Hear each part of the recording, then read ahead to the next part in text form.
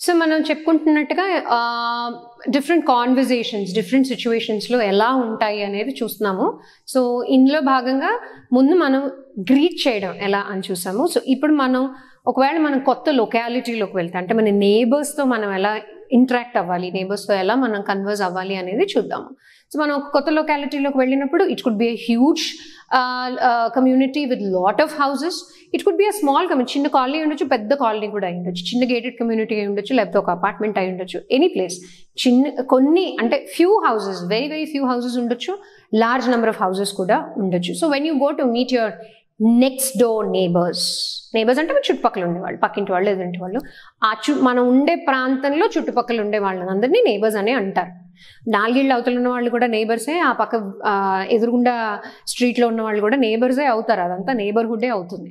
Okay so next door neighbours అంటే మన immediate neighbours మనం కరెక్ట్గా మన పక్కింట్లో ఉన్నవాళ్ళు so when we go to meet them what are we suppose to ఇప్పుడు ఫ్యామిలీ వెళ్ళారు. హస్బెండ్ అండ్ వైఫ్ ఇద్దరు వెళ్ళారు అనుకోండి so I'm Mark and this is my wife Mary ఇలానే ఇంట్రడ్యూస్ చేసుకుంటారు కదా. ఓకే వీఆర్ అంటే మనం ఫస్ట్ టైం వాళ్ళ ఇంటికి వెళ్ళినప్పుడు ఏం చెప్తాము? We are your next door neighbours we've come to live next door or we live down stairs from you down stairs from you అంటే మీ ఈ కింద ఫ్లాట్లో we live down you we live above you we live up you we live down you కాదు కదా? We live down stairs from you or from your flat from your house పైన అపార్ట్మెంట్స్లో ఉంటే down stairs from you or up stairs from you మీ ప మీ పై flat మాది మీ కింద మీ పైనమే ఉంటాం అనం కదండి? ఇది కూడా అంతే. So we live down stairs from you or we live up stairs from you or as our flat is on so and so floor whether it is a floor below the one your neighbours are are above all right so అలా. That is how we introduce our selfs to our neighbours సరే neighbours దగ్గరికి వెళ్ళిన తర్వాత next ఏం అడుగుతాం వాళ్ళని? వాళ్ళు ఎన్ని రోజులుగా అంటే ఎంత సమయం అక్కడ? ఎన్ని రోజులుగా అక్కడ ఉన్నారు? ఎంత సమయం అక్కడ ఆ అపార్ట్మెంట్లోనో ఆ ఇంట్లోనో లేకపోతే ఆ విల్లాలోనో ఉన్నారని కదా అడుగుతాము. సో వాట్ యూ ఆస్క్ ఇంగ్లీష్లో అడగాలంటే. How will you ask them for how long have you been in this neighbourhood ఈ ప్రాంతంలో ఈ నేబర్హుడ్లో ఈ కాలనీలో మీరు ఎంత కాలంగా ఉంటున్నారు? ఇదే కదా మనం అడగాలి. For how long have you been in this neighbourhood from how much time కాదు. కా- కాలం అని తెలుగులో అంటాం కాబట్టి టైం అని అడేస్తాం ఇంగ్లీష్లో. ఫర్ హౌ లాంగ్ అంటే కూడా అంతే. For how long have you been in this neighbourhood అంటే మీరు ఎన్ని రోజుల నుంచి లేకపోతే ఎంతకాలం నుంచి ఇక్కడ ఉంటున్నారు అనే మీనింగే వస్తుంది. For how much time you are here అంటే అది wrong okay so for how long have you been in this neighbourhood పక్క వాళ్ళని అడుగుతున్నా మీరు ఎన్ని రోజులుగా ఇక్కడ ఉంటున్నారంటే మీరు ఎన్ ఎన్ని రోజులుగా ఇదే అపార్ట్మెంట్లో ఉంటున్నారు లేకపోతే ఈ కాలనీలో ఉంటున్నారు అని అడిగేటప్పుడు for how long you have been in this neighbourhood వాళ్ళు ఎన్ని రోజులుగా అక్కడ ఉన్నారని తెలుసుకున్న తర్వాత ఏం చేస్తాము?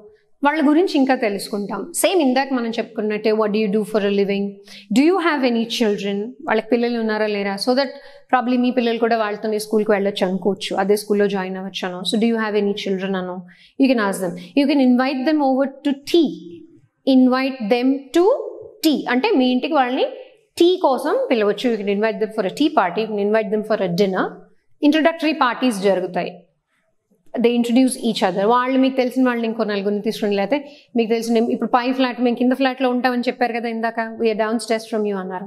సో ఆ పైన ఉన్న వాళ్ళని the people who are up stairs from them they can also be invited to tea usually conversations formal conversations happen over tea and coffee so you invite them to tea or coffee whatever is the preference preference of the guest వాళ్ళు guest అయినప్పుడు మనం ఏమవుతాము we are the hosts.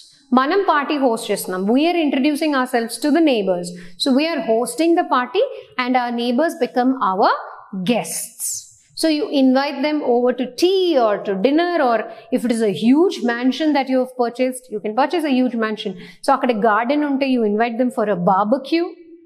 Okay. So there are different ways of interacting with your neighbors. Neighbors తో interact అయిన తర్వాత ఇందాక మనం వాళ్ళని అడిగాం do you have any children అని. Suppose the neighbours says no I don't have any children or if he says yes we have two children okay అప్పుడు next question ఏం అడుగుతాము?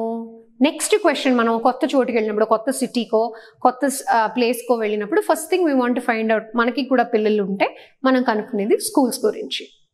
Right so what we ask them are there any good schools around here అంటే ఈ చుట్టుపక్కల ఏమైనా మంచి schools ఉన్నాయా? Are there any good schools around here okay US లాంటి కంట్రీస్లో లేకపోతే యూకే లాంటి వెస్ట్రన్ కంట్రీస్లో public education is given most priority అంటే అక్కడ గవర్నమెంట్ రన్ చేసే స్కూల్స్కి ఎక్కువ ప్రయారిటీ ఇస్తారు. ప్రైవేట్ రన్ స్కూల్స్ తక్కువ ఉంటాయి అండ్ కాస్ట్ ఎక్కువ. చాలా కాస్ట్లీ ఆ స్కూల్స్ ఎక్స్పెన్సివ్ స్కూల్స్ సో అక్కడ కంట్రీస్లో ఎలా ఉంటుంది కాన్వర్జేషన్ అంటే వాళ్ళు ఏమడుగుతారు are any good public schools here but మనం మా ఇండియాలో we ఆస్తాం them are there any good schools around here అంటే ఈ చుట్టుపక్కల మంచి స్కూల్స్ ఏమైనా ఉంటే సజెస్ట్ చేయండి. Or do which school to which school do your children go to ఇలా కూడా అడగచ్చు. మీ పిల్లలు ఏ స్కూల్కి వెళ్తారు?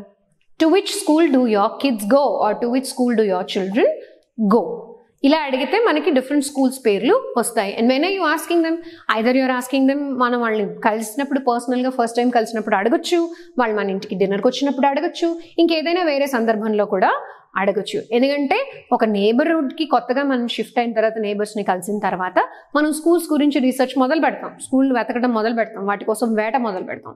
ఆ వేటలో భాగంగా మనం మన నేబర్స్ని అడిగి తెలుసుకుంటాం కూడా. ఇది కూడా చేస్తాం. స్పెషలీ ఒక సిటీ నుంచి ఇంకో సిటీకి మారిన వాళ్ళకైతే ఇది బాగా తెలుసు.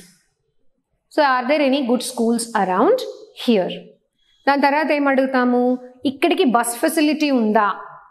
అంటే school bus facility. So is there any bus stop nearby is there any bus stop nearby ఇప్పుడంటే అన్ని చోట్ల మెట్రోలు ఉన్నాయి. యూజువలీ మనం పిల్లల్ని కూడా స్కూల్ బస్సులో కానీ మన కార్లో కానీ దింపుతాము. పబ్లిక్ ట్రాన్స్పోర్ట్లో ఎక్కువగా పంపించరు చాలామంది parents so is there any bus stop here అంటే ఆ పర్టికులర్ ఎక్స్వైఎన్స్ స్కూల్కి మేము పిల్లల్ని పంపిస్తున్నామని వాళ్ళు రిప్లై ఇచ్చినప్పుడు ఎక్కడి దాకా తీసుకెళ్ళాలి మనము? So is there any bus stop అంటే వాళ్ళు ఏం చెప్తారు? No the school provides pickup and drop facility అంటే school door pickup door drop facilities అంటే మన గుమ్మంలో కనుక బస్ కానీ వ్యాన్ కానీ వస్తే వాళ్ళు చెప్పే సమాధానం the school provides for a door pickup and door drop facility అంటే మన గుమ్మంలోకే వ్యాన్ వచ్చి పిల్లల్ని పికప్ చేసుకుని పిల్లల్ని డ్రాప్ చేసి వెళ్తుంది. లేకపోతే వాళ్ళు ఇంకో మాట చెప్పొచ్చు.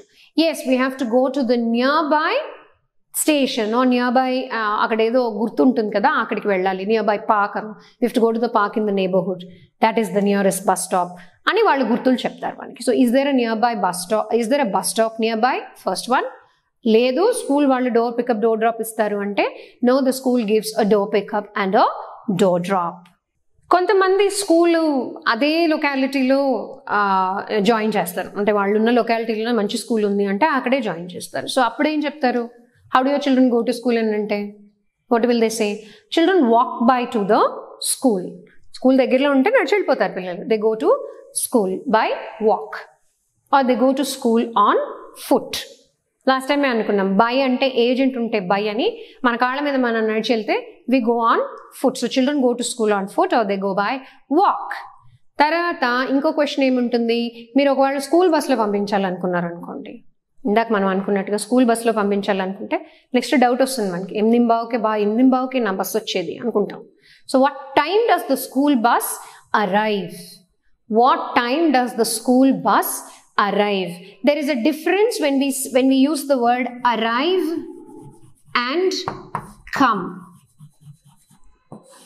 arrive అనే వర్డ్ని అండ్ అరైవ్ అనే పదాన్ని మనం బేసిక్గా వాడేది బస్సులకి ట్రైన్లకి కమ్ అనేది మనుషులకి వాడతాం.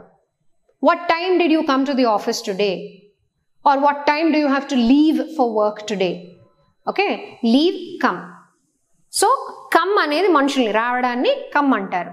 అదే ట్రైన్ కానీ బస్ కానీ మన ట్రైన్ రైల్వే స్టేషన్లో చాలాసార్లు వినుంటామే. అరైవల్ డిపార్చర్ చాట్ ఉంటుంది. Right arrival time departure time అని.